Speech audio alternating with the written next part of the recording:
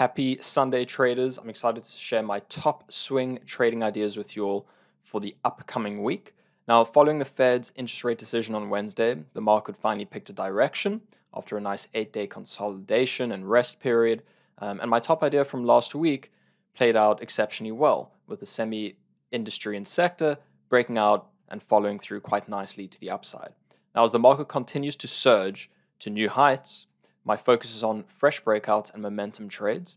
Although I am cautious here, things are beginning to get a little bit frothy and a little bit overbought with a lot of names and overbought territory. But until it stops working, my focus is going to continue to remain on the long side and specifically with setups that have been working over the previous several months. So, with that being said, let's get straight into it. I'm going to share my top ideas with all of you, my trading plans for stocks that I believe could make significant directional moves for the upcoming week. Now, the first idea is going to be a consolidation breakout in NTNX. Now, NTNX, this, this really is a textbook consolidation breakout pattern. Um, you know, in a stock that's been in a very nice steady uptrend for quite some time, we've seen multiple breakouts resulting in nice upward momentum and steady walks higher above a rising five day moving average. So you know, the stock does have a nice history of breaking about above consolidations and having multiple days of continuation to the upside. Um, so my time frame for this particular stock and the setup is going to be up to a full week with a trailing stop as I look for history to repeat itself now that we find ourselves in a nice steady consolidation above rising key moving averages. So here's the exact plan. So from the daily chart, down to the hourly chart, we can see that the time frame aligns across multiple time frames, and we can see that key levels shine through, which is something that I really like for this particular setup. I would like multiple time frames to align. Now, if we go back to the daily chart, we can see that 65 is a very key and obvious breakout level. If we can break above and hold above last week's high, and basically, what I want to see is I want to see us not only break above, but I want to see an increase in volume and I want to see some time spent with authority above that level. If that happens, I'm going to look to get long with a stop at the low of day or below the most recent higher low on the 15 minute time frame. The 15 minute time frame is how I'm going to be trading the stock. I'm going to be trading it on that 15 minute time frame. Now, the lofty goal should we get that desired entry? Should I get the entry that I'm looking for? The lofty goal is going to be a move up to $70. However, I do plan to scale out of this position as it trades up in ATR. So I'm going to look to scale out of the position above 65 if we can get a push towards 67 and a half. ATR, I believe, is around 220. Um, so we get a move towards 67, 67.50. I'm going to look to scale out of the position. From there, I'm going to be trailing my stop using higher lows on the 15 minute time frame with the final and lofty target to be around 70. Now that is a final lofty target. I'm going to use my discretion along the way. If we make lower highs, if we break that higher low on the 15 minute time frame, that trend, I'll get out of the remainder of the position. And as I said, first area I'm looking at is 67.50 for new highs um, to begin to scale out of the position. Now the next setup I have is an ARM, is an ARM.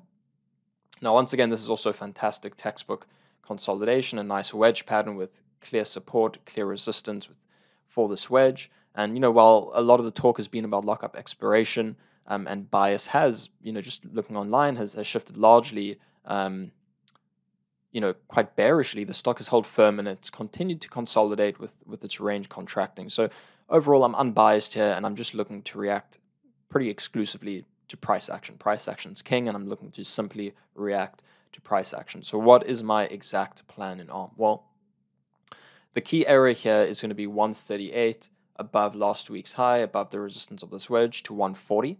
So basically, I'm looking, again, multiple time frames do align here. I'm looking for the stock to break above that zone with some authority, with some volume, and with staying power. I want to see some high lows and consolidation above this area, which for me would signal a change of character because every time we've tried to break out above previous week's high, we've seen selling and we've seen failure. So if we can hold above that zone, that would signal um, a change of character for me, and it would definitely get me very interested. So I'll look to enter long with reduced size um, you know, what I believe to be what I assume will be a pretty wide stop given the stock's ATR um, around 8. Um, so I'm going to be trading at reduced size, wider stop. It's going to be near the day's low. That's where I would be wrong essentially. So it's going to be smaller size or wider stop because I'm going to give the stock some room to breathe and for the idea to play out. I don't want to overmanage something like this. Um, now my first target is going to be a move toward around 145. So in this region up to 150, which you know between 150 and 145, we have seen some resistance. We have seen some selling and supply. So I suspect that the stock could have a little bit of trouble there. That's going to be the first area that I look to trim the position, to take risk off of the table, and to lock in some profits. So from there, my stop is going to be trailed similar to my previous idea on the 15 minute time frame using higher lows. And the final target for me is going to be a move toward sort of 160 to 164, although I am going to be scaling out of this manually as it makes new higher highs on the 15 minute time frame. And again, I'll use my discretion, but the final lofty goal is going to be towards the high as we approach 160 to 164, 165 within this zone. That's where I'm going to be looking to scale out of the remainder of the position over multiple days. Then I have two sort of back burner additional additional ideas. The first one's going to be in YTEN. The stock you can see has a history of popping and failing, popping and failing. Last week we popped and failed on a good amount of volume. And let's put on the VWAP instead. Go to a lower time frame. Let's go to five minutes. Um, essentially, with with YTEN, I'm just targeting a push back into potential supply zone where we failed from intraday, and there could be significant overhead. So for me, that's going to be between sort of this 55 as we come into these areas from Thursday 55 up to 60, up to 65. I suspect that there could be um, a lot of supply and selling in these areas if we do get a push up. So essentially, looking for a push into these areas, failure intraday, a clear level to risk against, and looking to ride it back down to 40 and 30s. And then the final one is a name from Friday, the Friday that popped up on no significant news that I could find. Traded a good amount of volume, nice failure off of the highs. And if we can push above what will become the two day VWAP back in over three, back towards kind of 318, 320s, first area that I could see some significant selling and overhead.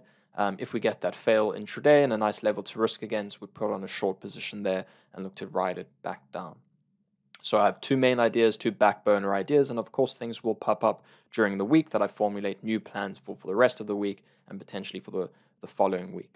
Um, so those are my main ideas, main focuses. Let me know if I've should have included anything else. Drop it in the comments, um, and let me know if there's anything else that you're watching and keeping tabs on um, while things further develop and set up, possibly for the days or even weeks ahead. And Good luck for the upcoming week, and I will see you all again next week. So, you're an active trader, not doing as well as you want, not doing as well as you deserve, and you just can't figure out why you can't become profitable no matter how hard you try. Well, let me show you why. This is your competition. The traders in this room. This room right here is full of elite traders, some of whom are making seven and even eight figures a year. In fact, our top guys have made nearly 20 million each in net trading profits in a single year. Let's head to my office so I can share more. So, you're probably used to seeing videos of lavish trader lifestyles, trading gurus trading off of a laptop for an hour a day, heck, maybe even 15 minutes a day, and then them relaxing on some secluded beach for the rest of the day. Well, all I can tell you is that our traders train like pro athletes. They live and breathe the markets and are continually working on their trading skills. Because at our firm, that's what we found it really takes to make it in this game. I'm Mike Bellafiore, co founder and managing partner of SMB Capital, one of the world's top proprietary trading firms located in Midtown Manhattan.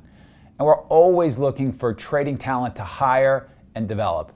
And not just to trade in house on our desk, but also to trade from their own home, entirely using our firm's capital.